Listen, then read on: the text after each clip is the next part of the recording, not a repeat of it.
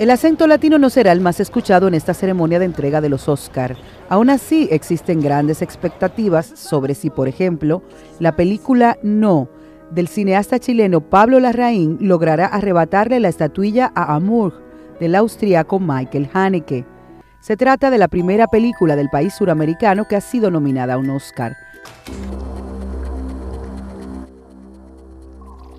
Basada en la obra de teatro El plebiscito de Antonio Escármeta, aborda la campaña opositora previa al plebiscito del 5 de octubre de 1988 en Chile, cuando ganó la opción del no, contraria a la continuidad del dictador Augusto Pinochet.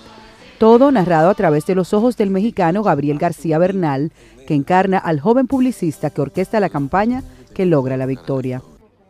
Aunque el propio Larraín dice que opina que ganará Amour, es una categoría, la de mejor película extranjera, que suele dar sorpresas. La Argentina, El secreto de sus ojos, ya le quitó a Haneke el galardón en 2010. También de raíces chilenas, Claudio Miranda se mide como mejor director de fotografía por segunda vez, ahora por Una aventura extraordinaria, Everybody Loves Wallace.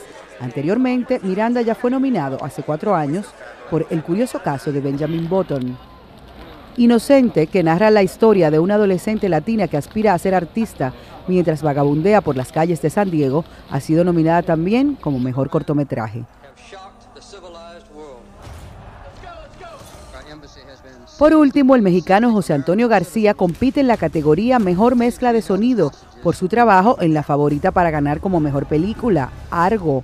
García se medirá con los responsables de la mezcla de sonidos de Los Miserables otra fuerte candidata en esta categoría, La vida de Pi y Skyfall. La suerte está echada. A ver si estos Oscar no se quedan sin sabor latino.